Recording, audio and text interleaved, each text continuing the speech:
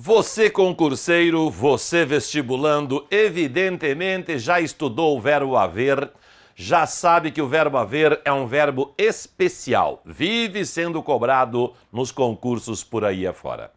Mas cuidado com decoreba. Alguns alunos, muitas vezes, nos meus áureos tempos de educação em sala de aula, muitas vezes os meus alunos falaram, professor, então nunca se usa houveram, não é? Nunca se usa haviam, não é? Não, não é. Não é.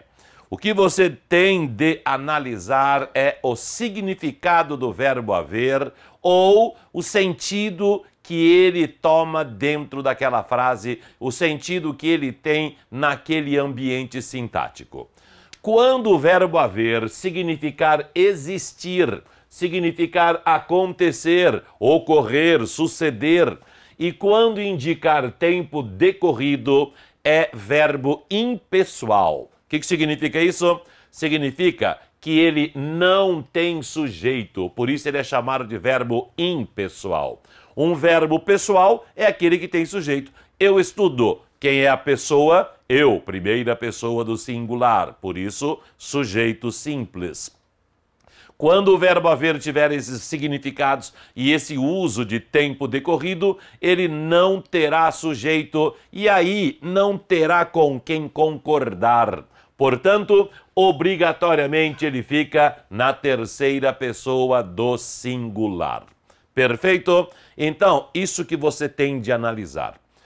Qualquer que seja o concurso ou qualquer que seja a frase que você tenha de escrever, analise o sentido, analise o significado.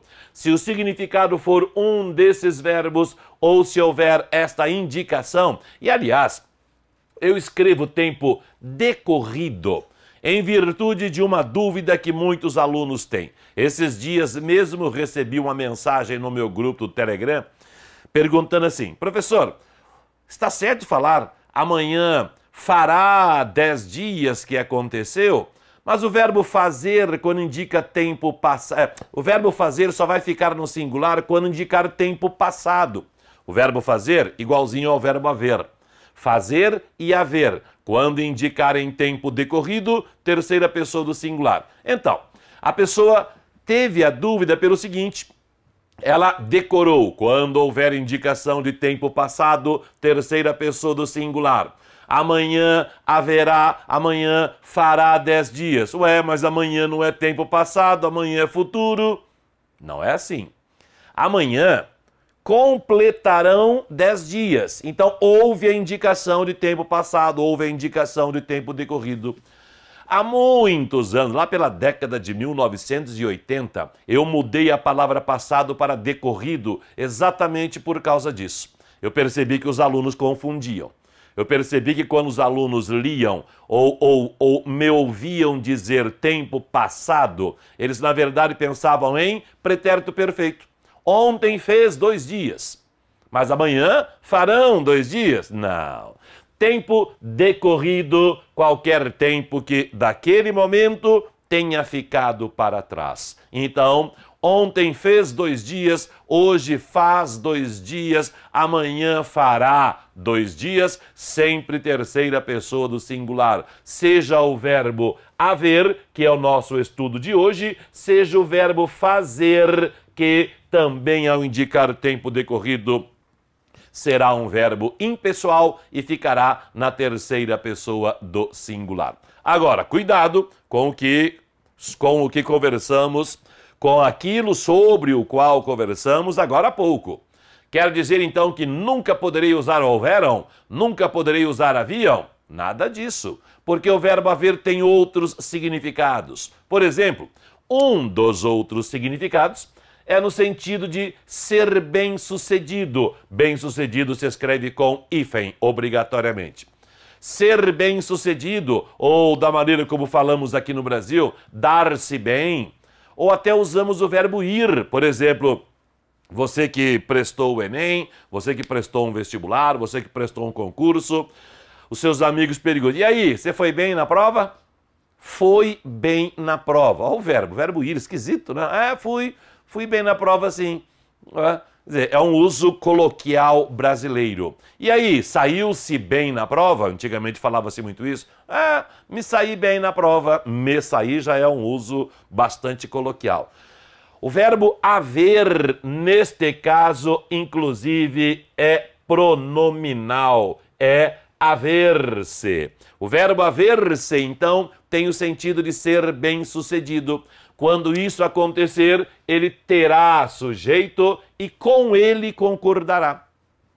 Então, por exemplo, houve problemas, que é que significa o verbo haver. O verbo haver significa existir, portanto, não tem sujeito, fica obrigatoriamente na terceira pessoa do singular.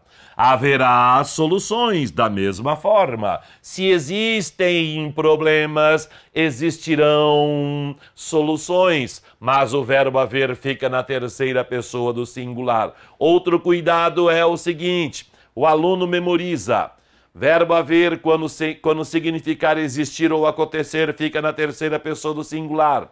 E se confunde, pensando que existir e acontecer também ficam na terceira pessoa do singular. Não, não, não, não, não. Esses dois verbos, existir e acontecer, têm sujeito. E com eles concordam. Então, aqui, ao usar o verbo existir, qual é o sujeito? Como é que você encontra o sujeito? Perguntando ao verbo. Que é que? Quem é que? Então, se colocar o verbo existir aqui. Existir problemas. Sujeito. Que é que existiu?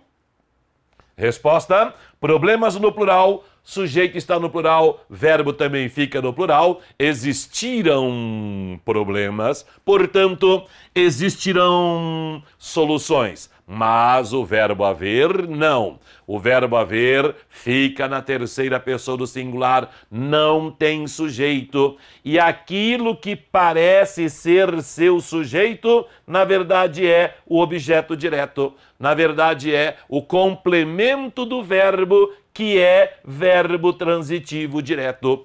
Outra cobrança bastante comum nos concursos também a função sintática desta palavra. Me lembro de isso ter sido cobrado já na Universidade Estadual de Londrina, na época em que eu lecionava ensino médio e cursinho. Então, aquilo que parece ser o sujeito do verbo haver é objeto direto, porque ele é verbo transitivo direto e não tem sujeito.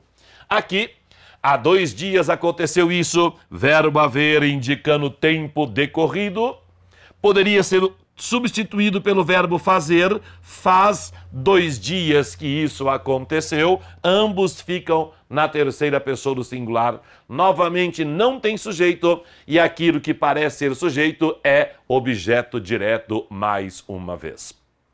Mas, pela terceira vez.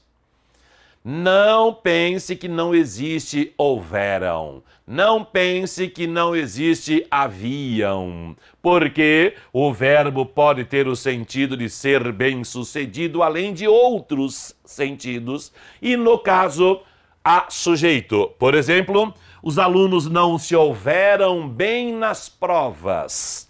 Quem é que não se ouve bem? Os alunos. Cá está o sujeito, o verbo que significa ser bem sucedido, ou como nós usamos no Brasil, dar-se bem, ir bem, sair-se bem, deve concordar com o sujeito, ficando na terceira pessoa do plural, porque o sujeito também está no plural. Os alunos não se houveram bem.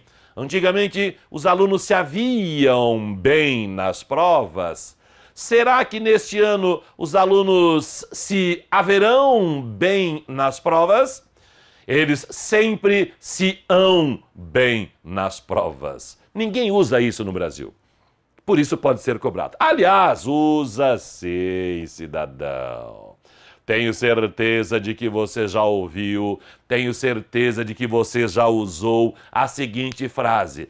Fica aí, você vai se ver comigo ainda tá? Vou dar o troco. Você vai se ver comigo. já usou isso, não usou? Certamente já. Só que não é você vai se ver comigo. É você vai se haver comigo. Não é o verbo ver, é o verbo haver. Ou seja, você vai se dar mal comigo. Você não será bem sucedido comigo. Certo? Você não irá sair-se bem dessa. Todo mundo usa isso, mas ninguém sabe o real significado. Você vai se haver comigo ainda, seu menino malandro. Portanto, cuidado. Verbo haver, obrigatoriamente na terceira pessoa do singular, quando significar existir, acontecer, suceder, ocorrer e quando indicar tempo decorrido. Aquilo que parece ser sujeito, na verdade é objeto direto. Existir, acontecer, suceder, ocorrer concordam com o sujeito. Quando haver significar ser bem-sucedido, dar-se bem, ir bem, sair-se bem, ele tem sujeito e com ele concorda. Quando, porém, houver outro verbo acompanhando o verbo haver, mais cuidado ainda. Tudo que nós vimos até agora é com o verbo haver sozinho, o verbo haver pleno. Porém, o verbo haver, como qualquer outro verbo, pode participar de locução verbal. O que, que é locução verbal? Deixa eu pegar aqui, enroscou aqui. O que, que é locução verbal? Locução verbal é quando há no mínimo dois verbos, um chamado de verbo auxiliar, outro chamado de verbo principal formando assim a chamada locução verbal. O verbo auxiliar, inclusive, você já estudou lá no ensino fundamental, estudou no ensino médio também. Há verbos auxiliares fixos, podemos dizer assim. Por exemplo, o verbo poder, dever, Pode acontecer algo. Pode é verbo auxiliar, acontecer é verbo principal. Deve acontecer algo. Deve auxiliar, acontecer é principal. Ser e estar. Pro... na prova foi cobrado o conteúdo adequado. Foi auxiliar cobrado é principal. Eu estou conversando com você. Estou é auxiliar conversando é principal. Poder, dever, ser, estar, o próprio verbo haver, ter e haver, o que estudaremos aqui daqui a pouquinho, são verbos auxiliares também, e modernamente, modernamente desde a década de 1960 para cá, o verbo querer, eu quero estudar. O verbo ir, eu vou estudar. Aliás, já falamos sobre o verbo ir como verbo auxiliar. Deve ser evitado, principalmente o verbo ir no futuro. Lembra? Se não lembra, volte assim que você terminar de assistir a este vídeo. Volte e assista ao vídeo sobre ir mais infinitivo. Ou entre no Gramática Online e procure na parte de verbos, locução verbal, que aprenderá mais profundamente sobre isso. Então, poder, dever, ser, estar, ter, haver, querer, ir Dentre alguns outros mais moderninhos, são verbos que chamamos de auxiliares, porque quando se juntam a outro verbo, formam o que chamamos de locução verbal. Locução verbal, então, são dois ou mais verbos que indicam uma ação ou que indicam qualidade do sujeito. O verbo haver pode aparecer como verbo principal ou como verbo auxiliar. Quando ele for principal, acontece exatamente o que aconteceu com o verbo haver simples, igualzinho ao verbo haver simples, ou seja, se ele significar existir ou acontecer, se ele indicar tempo decorrido, não há sujeito ele deverá ficar na terceira pessoa do singular e o auxiliar também. A impessoalidade do verbo haver é passada para o verbo auxiliar. Não é que, não é, que é passada.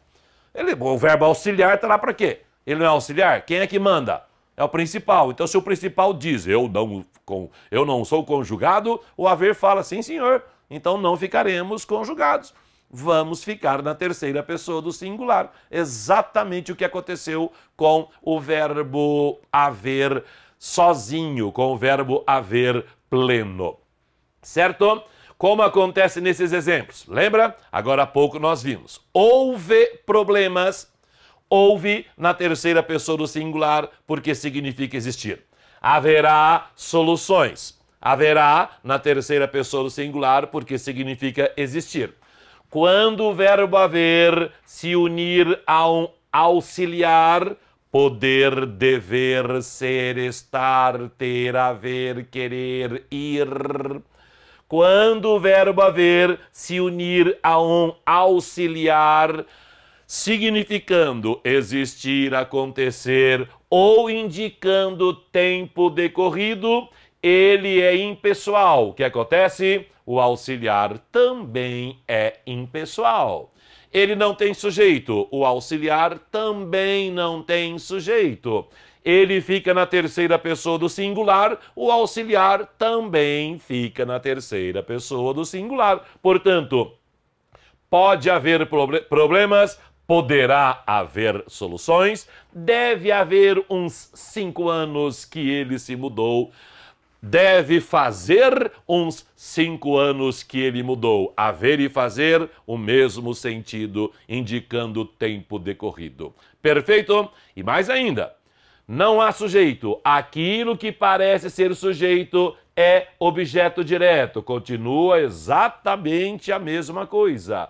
Tudo será objeto direto, o que parece ser sujeito.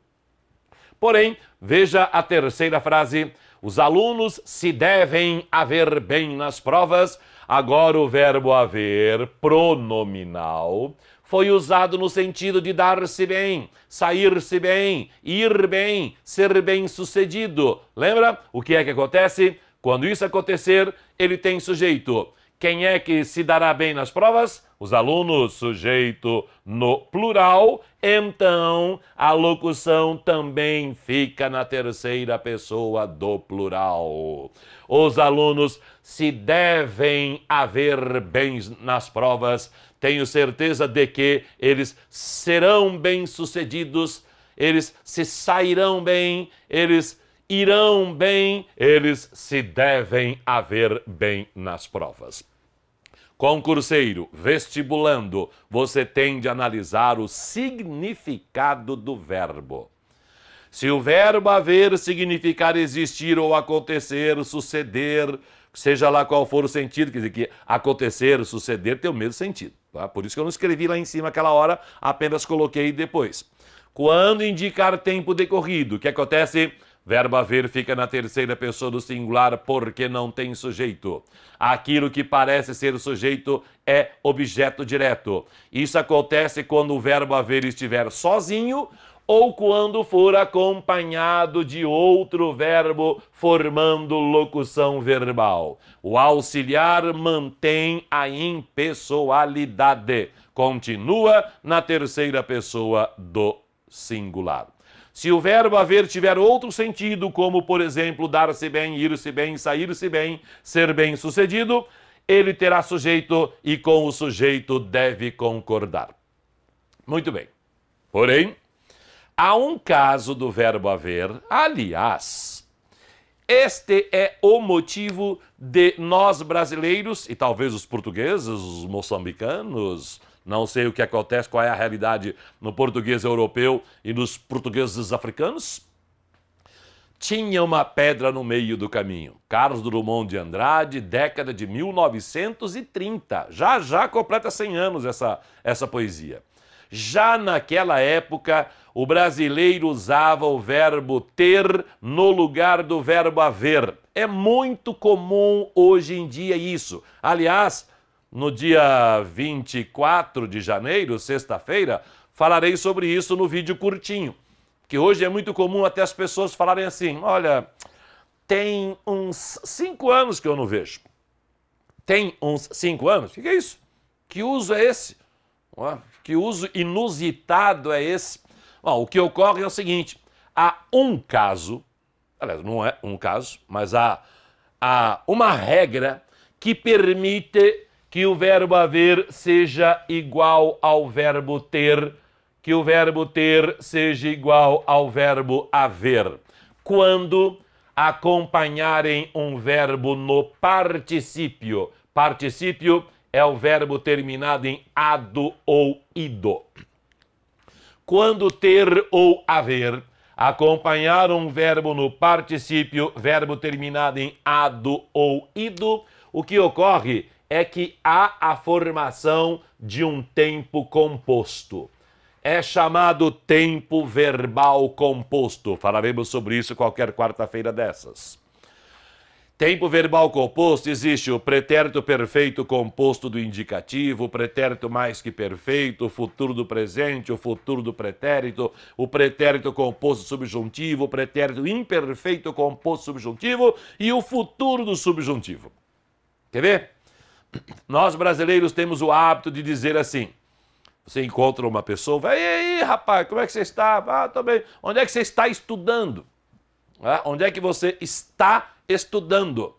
Aí a resposta ideal seria: em lugar algum, porque eu estou conversando com você. Está estudando significa que a ação ocorre neste exato momento. Neste exato momento eu estou falando com você. Neste exato momento você está me escutando. O verbo que indica algo do cotidiano é locução verbal, é tempo verbal composto. Em vez de perguntar onde você está estudando, a pergunta deveria ser: onde você estuda? Ou onde você tem estudado? O que você tem feito de sua vida ultimamente? Ultimamente eu tenho assistido a filmes, eu tenho lido livros, eu tenho descansado bastante. Verbo ter mais particípio terminado em ado ou ido, formando o tempo verbal composto chamado de pretérito perfeito composto do indicativo.